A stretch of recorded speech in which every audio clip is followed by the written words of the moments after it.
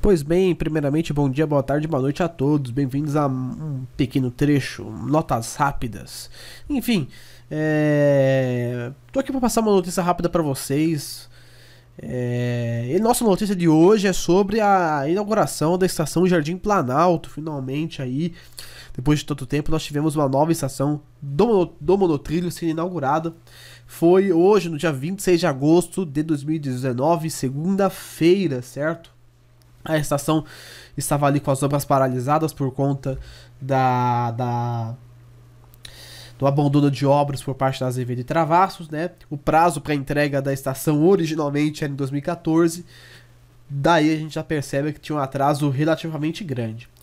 E essa nova estação, né, com essa nova estação da linha 15, estima-se que a demanda na linha 15 prata, por enquanto, chegue aos 100 mil usuários, né, 100 mil passageiros por dia, o que é um número excelente, né?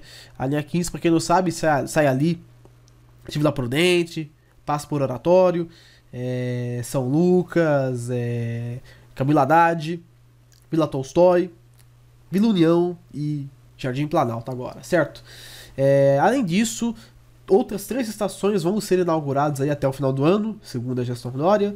É, são as estações Sapopemba, Fazenda da Juta e a Estação São Mateus, né, uma das mais esperadas ali, que vai fazer integração com o terminal de ônibus próximo. É, em relação à Estação Jardim Colonial, que é a próxima é, que há de ser construída ali depois de São Mateus, o prazo para essa estação é até 2021 por ser um contrato separado, por ser uma estação avulsa, é capaz que essas obras da estação de Jardim Colonial sejam mais rápidas, certo? É, a capacidade total de passageiros que a linha 15 é, foi projetada para suportar é de 400 mil usuários por dia, né?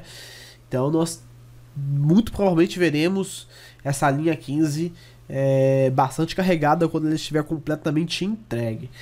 É, lembrando que um dos fatos bastante destacados aí pela gestão do governador João Dória é o fato da, da estação Jardim Planalto ter sido entregue com dois meses de antecedência do prazo previsto. Então, tá aí o Dória é a gestão Dória entregando aí uma fazendo um, algo que é incomum entregar uma obra antes do prazo entre aspas, né? Porque teve todo aquele embrólio ali pelo menos esse embrólio foi resolvido e essa ação entregue. E segundo aí com o secretário Alexandre Baldi, os investimentos totais da linha 15 prata hoje, né, ou seja, construção da linha toda, chegam ali a 5,3 bilhão de reais, certo?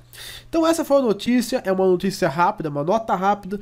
Por favor, deixe o seu feedback se vocês gostaram dessa versão um pouco mais rápida, é mais compacta, você pode compartilhar com seus amigos aí que eventualmente curtam o transporte sobre trilhos. Não se esqueça de se inscrever no canal e deixar o seu like. Vou ficando por aqui, até a próxima!